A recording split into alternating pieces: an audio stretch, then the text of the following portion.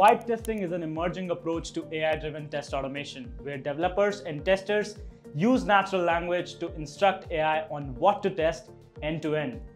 So why the buzz? Well, AI can help you build an app in 10 minutes or maybe less, which could otherwise take you days, weeks, or maybe months of efforts.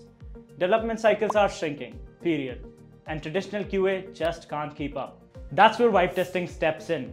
With vibe testing, users experience faster test generation by instantly creating comprehensive test kits, all using natural language. That instantly eliminates manual scripting effort. You also get quicker test execution. You get results almost immediately, allowing rapid iteration and deployment. And you get faster feedback for developers, giving them the exact insights as to when they need them. And most importantly, vibe testing is breaking technical barriers.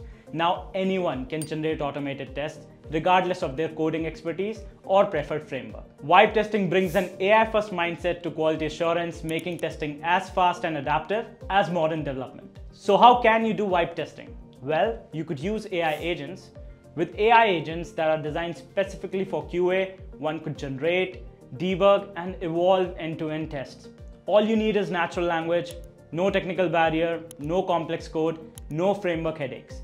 And at Lambda Test, we are leading this revolution with Kane AI, the world's first Gen AI agent that helps you do end-to-end -end testing, all by natural language processing. You just gotta ask it a prompt and Kane AI automatically generates the test scripts for you. You could even export your automation scripts in different languages and frameworks. What used to take weeks can now be done within minutes using vibe testing, especially with Kane AI.